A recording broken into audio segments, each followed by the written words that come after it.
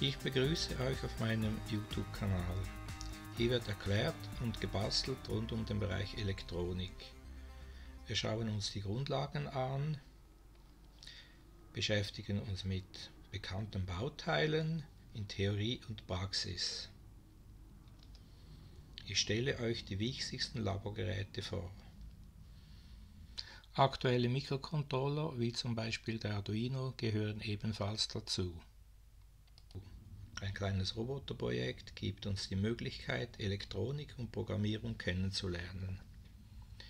Auf meiner Webseite findet ihr zusätzliche Informationen zu den Videos.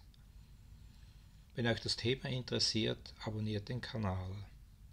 So seid ihr immer informiert über die neuesten Videos.